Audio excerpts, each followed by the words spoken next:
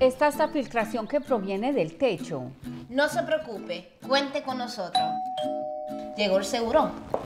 Honestamente no creo que podamos hacer nada por usted. ¿Ustedes otra vez? Mi trabajo es representar al cliente. Es tiempo de que le des a tu cliente la ayuda que se merece. Señora Janet, aquí está tu cheque. Ya.